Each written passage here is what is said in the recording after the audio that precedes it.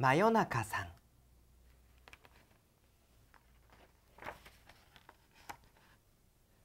真夜中さんは夜中のコーヒー屋さんです。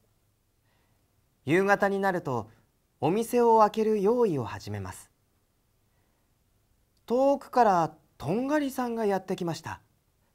とんがりさんは毎日新鮮な牛乳を持ってきてくれるのです。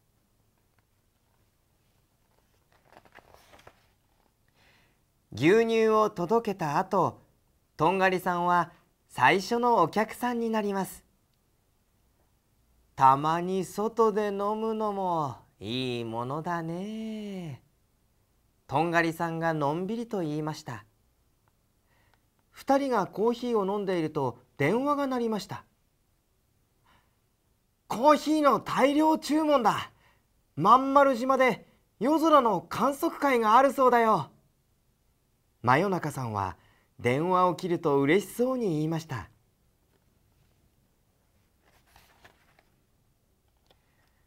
まん丸島は遠いよ。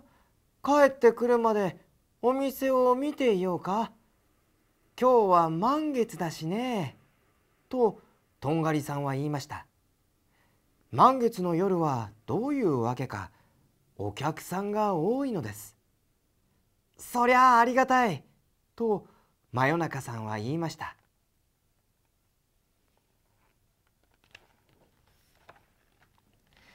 真夜中さんは観測会にぴったりの満月コーヒーを急いで作って配達の準備を始めました。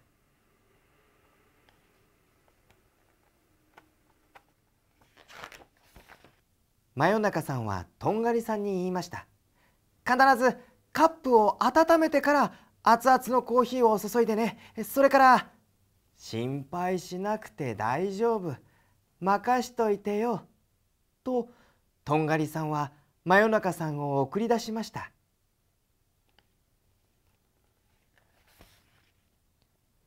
久しぶりの配達なので真夜中さんは足取りも軽やかです。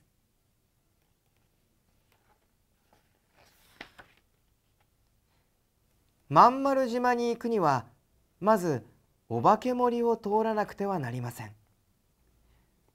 お化け森のお化けは真夜中さんのコーヒーが大好きです。でもお化けはちょっと困りものです。なぜってお化けのお金はお化けと一緒に消えてしまうからです。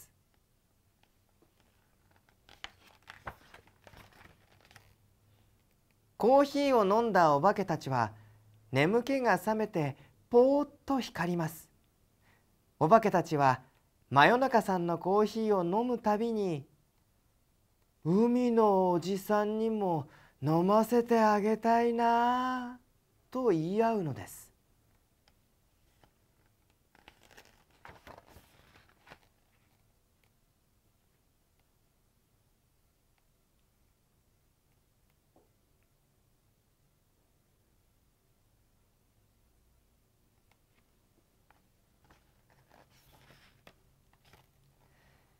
参ったな。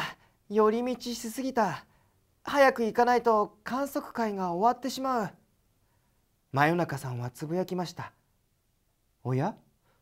向こうから白くて大きなものがやってきます。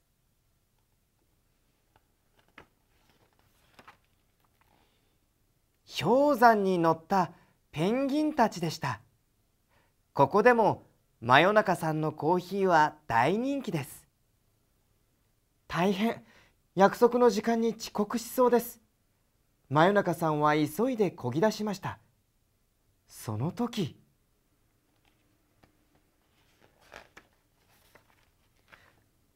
ボコボコボコ？あれあれ？真夜中さんの周りにたくさんの泡が浮いてきました。ドドッ海の中から現れたのは大きなタコいやイカではなくて大きなお化けでした。なんていい匂いだ。そのおいしそうなものをくれないならここを通さないぞ。お化けは大きな声で言いました。あああなたが海のおじさんお化け。ちょうどいい。僕をあの島まで運んでくれませんか？そしたら特別にコーヒーをご馳走しますよ。海のおじさんお化けは笑って言いました。あそこまでなら一かきさ。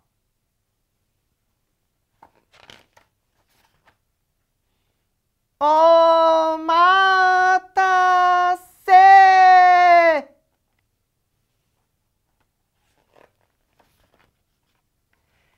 約束の時間ぴったりに真夜中さんは着きました。観測会はたくさんの人で大にぎわいです。真夜中さんの満月コーヒーは大好評。ポットの中のコーヒーがなくなりそうです。おや？海のおじさんお化けが遠くで心配そうに見ています。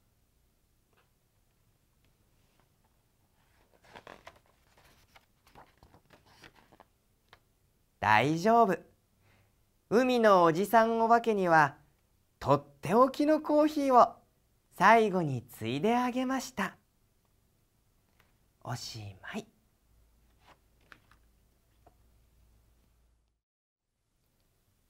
真夜中さん。